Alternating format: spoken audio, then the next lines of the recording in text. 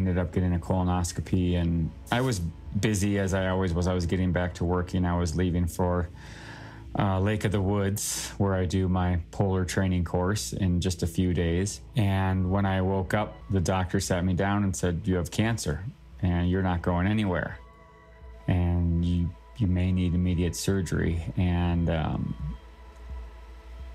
I, uh, yeah, that was the needle scratch that kind of changes the trajectory of everything and, and stops everything.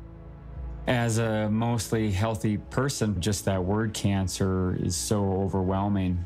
You get thrown into this scans and tests and you know all this stuff and within a couple days the diagnosis came back that it looked like it was stage 4 the cancer had spread to my lungs and so that's a stage 4 diagnosis and in colorectal cancer stage 4 is is very deadly